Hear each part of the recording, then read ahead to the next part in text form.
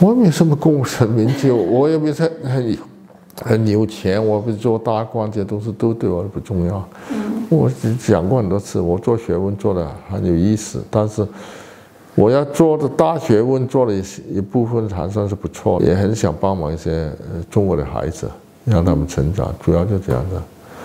我我我对所谓功成名就兴趣不大，我坦白跟你讲，我觉得很愉快，我能够。做到我做的学问，能够看到有些孩子成长，我就很高兴。我不觉得有什么这么需要。你讲钱，我你不能讲我们有钱，但是我不需要，所以我在这边不拿薪水，我觉得很高兴。呃，这个何苦要要要要拿多一点的钱，没有意思。但是你讲名，我很坦白跟你讲，名我在乎的是我们同行数学家的对我的。的评价。